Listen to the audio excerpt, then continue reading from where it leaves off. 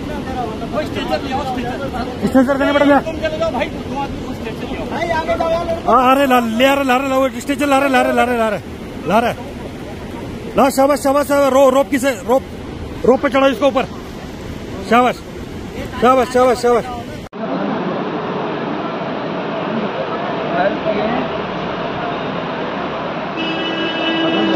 आ रहे हैं आ रहे हैं लेडीज़ भी है लेडीज़ आ रही है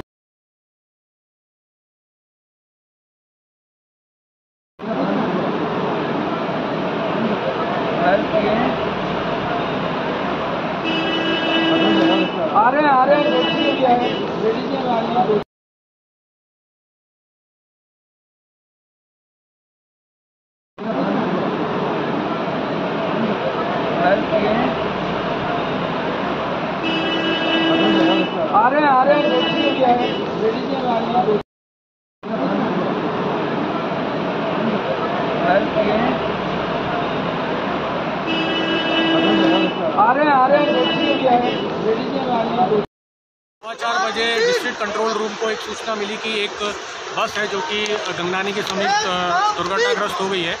ये सूचना के तत्काल मिलते ही जो है गंगनानी चौकी थाना मनेरी की फोर्स और एसडीआरएफ बटवाड़ी जो है मौके पर पहुँचे और तत्काल ही रेस्क्यू ऑपरेशन जो है चालू किया गया। अ, ये अभी तक की मिली सूचना के अनुसार ये जो बस है ये उत्तराखंड नंबर की बस है यूके ज़ीरो सेवन पी है एट फाइव एट फाइव और यात्री जो है गुजरात के बताए जा रहे हैं।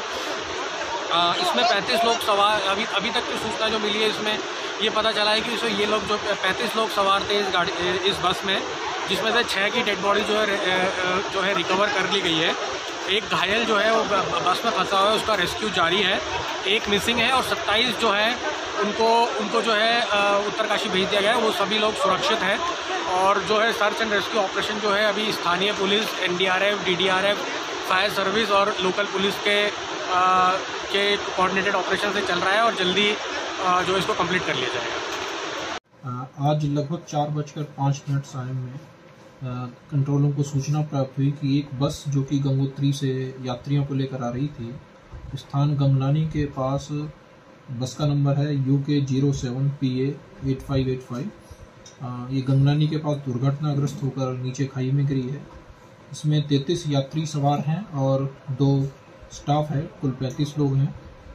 रेस्क्यू ऑपरेशंस अंडरवे हैं, जिसमें एनडीआरएफ एसडीआरएफ, पुलिस, फायर, राजस्व की टीम गई, लगी हुई है।